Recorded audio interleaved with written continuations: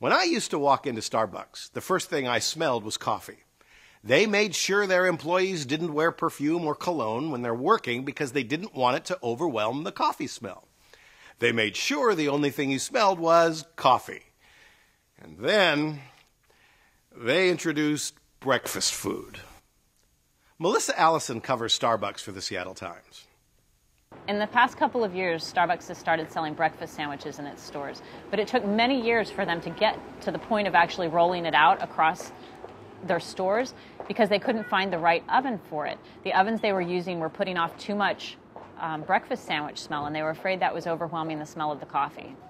In 2007, Howard Schultz, the chairman of the company, wrote a memo to his top executives saying that he was concerned that many things had changed in their stores, including the aroma. He wrote that flavor locked bags may have kept the coffee smell from being dominant in their stores. It was such a big deal that, that there were huge headlines. Advertising Age even had one that said Starbucks smells the death of its brand experience. Even though Starbucks has branched out into other areas, they have always said that coffee is their main business. As long as that's the case, they're going to have to take pains to make sure the smell of coffee is in their stores.